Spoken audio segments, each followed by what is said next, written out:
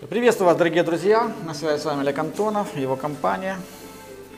Сегодня у нас такой интересный мастер-класс. Покажем вам, как наносим, как мы ее назвали? Ну, неважно. В общем, под папирус. Да, под, под, под кожу, кто-то под папирус называет это, кто по- по-разному. Суть другая. Прежде чем наносить этот материал, мы его за стенку хорошенько загрунтовали. Сделали там такой интересный микс. Взяли грунтовку, ну, стандартную, там, что там было, может, ну, не знаю, назовем его там, в общем, стандартную грунтовку. Добавили туда э, клей ПВА, добавили туда краску, вот, и получили такую авторскую грунтовку. Зачем нужна была такая крепость? Для того, чтобы наш материал не забирал, стена не забирала влагу.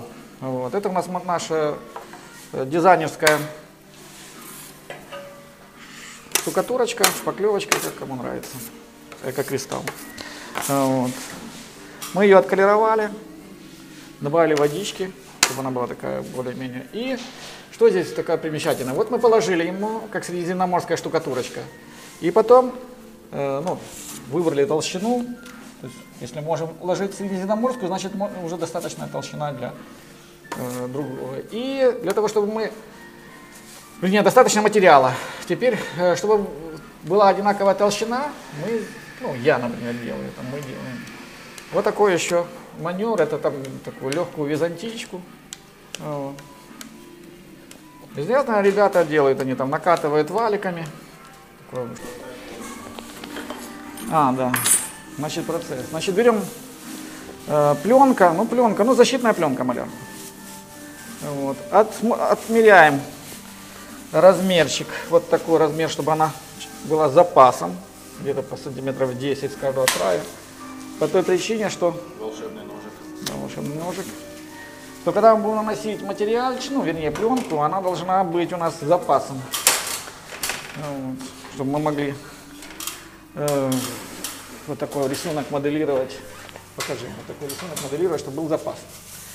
Вот. Второй маневр. Распускаем нашу пленку. Вот. Прикладываем. Верхушка. Так, и что у нас? Костик, дай мне пластиковый шпателек.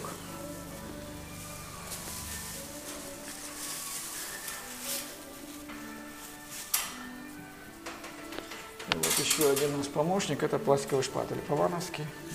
Один миллиметр толщина, то есть он достаточно. Вот. И что мы, как назовем, ну, положили нашу э, пленку или наш, э, наше клише. Э, вот. То есть не натягиваем, а специально оставляем с такими запасами, то когда мы будем уже ее ну как, моделировать, чтобы у нас был запас входа пленочки. Вот. Поэтому не обращайте пока внимания на вот эти пузыречки, они со временем вам покажу, как они убираются. Если, например, у нас остаются вот такие пузыречки, да, это большая стенка, понятно, вы его, то что, взяли жалом и этот пузыречек выпустили. Все, и у вас остается шикарное клише от пленочки.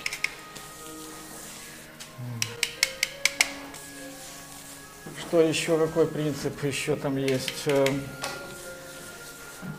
Оставляем его на этот наш макет с пленкой, с модельной массой на пару часов. Вот мы приехали, во сколько это было, наверное, к 11, да? 12. Ну, пускай это мы там загрунтовали, ну, подошел я к ней, пока сделали массу, ну, к часу, может, к двум. А сейчас где-то, наверное, 4, начало пятого, да? То есть около трех часов вот мы делали эту стенку. А, вот, и я уже попробовал, что уже можно было снять э, пленочку.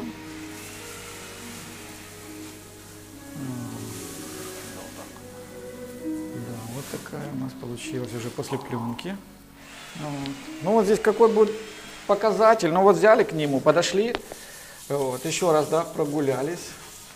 Ну, если вы уже чувствуете, что материал там уже не моделируется, не формируется под шпателем, значит, все, стенка уже достаточно забрала влаги. И вот, например, здесь, да, вот здесь уже я могу снимать смело, уже он не формируется. А здесь, видно, толстый слой был, он еще, еще достаточно. Вот, главное, чтобы вы понимали принцип.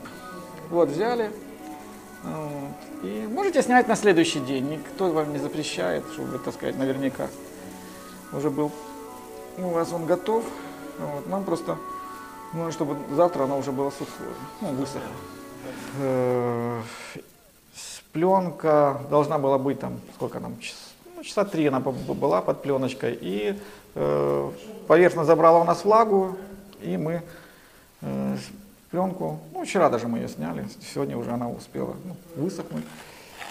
И так, сейчас она вот такая, да, такая, будем говорить, слишком, может быть, колюченькая. Сейчас я вам покажу чуть наверх. Даже вот здесь ее, она еще поярче видно, насколько такая фактура серьезная видно. Этот свет может, ну вот здесь точно будет видно. Вот. И, или даже. И что мы теперь сделаем? Вот так она сейчас на ощупь достаточно колюченькая. Мы ее взяли шпателечек и шпателечком сняли вот эти, как мы назовем, заусенцы. Почему, например, именно шпателем? По той причине, что если возьмем наждачку, ну, мы можем повредить рисунок, да, где-то перетереть. Вот, а шпателем все, мы лишнее не снимаем, снимаем только то, что доставляет такой дискомфорт, когда вот мы ее тактильно. Второй момент. Э, чем хороша именно э, экокристалловская, ну или другая, может быть, у вас будет под рукой, акриловая, да, поклевка готова в ведрах. Она не такая крепкая, то есть ее, она достаточно, так сказать, податливая в работе, чем, там, ну, говорить, специально, да, там, модельная масса, вот, которые там достаточно крепкие, там, чуть ли не такой железобетонные. Вот, у нее будет очень тяжело. Вот. Что еще? Потом мы ее загрунтуем. Загрунтуем. И планируем вскрыть еще таким перламутровым да, э, лазурькой. Вот, типа там от Ачента будет, у нас будет лучше. И будет достигаться такой эффект. Ну, такой, ну, хоро, хорошо вычиненной кожи, да, она потом она такая восковая получится.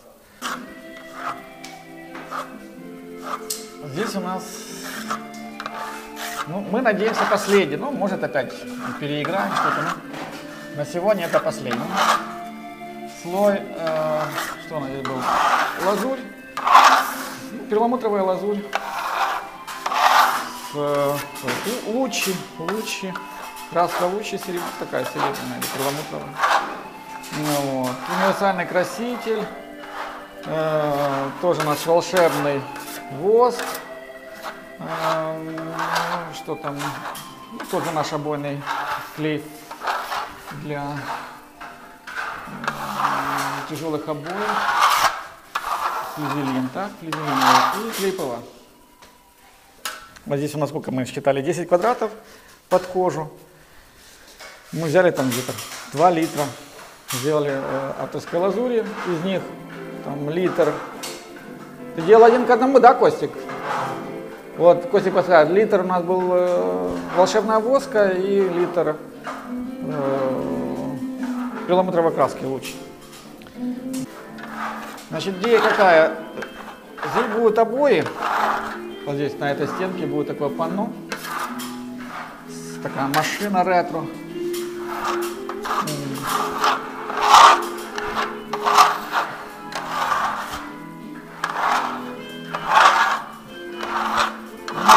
сказать, сделать фамилию, ну, чтобы как-то поддержать.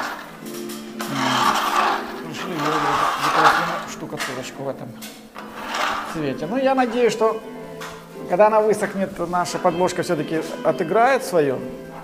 Вот, то есть, что лазурь нас не станет, так сказать, основным нашим цветом.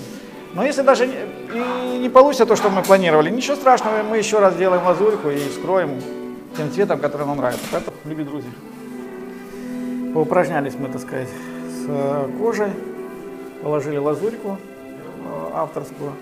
Да, тут хотел уточнить, Костик меня поправил, что здесь не один к одному с, э, с волшебным воском, а один к двум. То есть два, две части волшебного воска и одна часть луч. То получается, что перламутра здесь две части.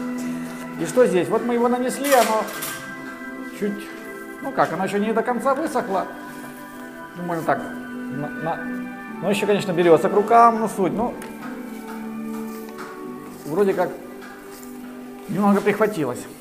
Прихватилось, и тогда мы можем вот, как мы, ну, как назвать, как полировка, да. Это все-таки шелкография. Эм, второй момент, что на ощупь тоже она будет такая интереснее, когда вот мы ее э, полирнем, можно так назвать. Тоже шпатель сухой, вернее, э, шпатель чистый, влажная. И такими круговыми движениями все, и она уже огонь. Сейчас вам покажу, что вот здесь получилось поближе.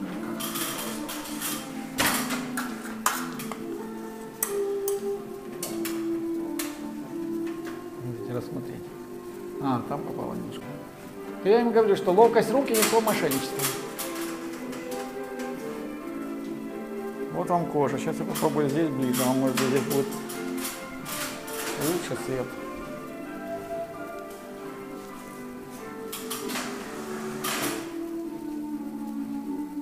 Сейчас вам поставлю. Так вы рассмотрите ее во всей красе. А я сейчас тут чуть полирну.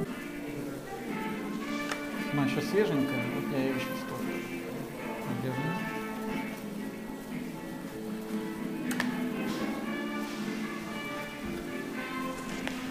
Так что, ребята, Ой.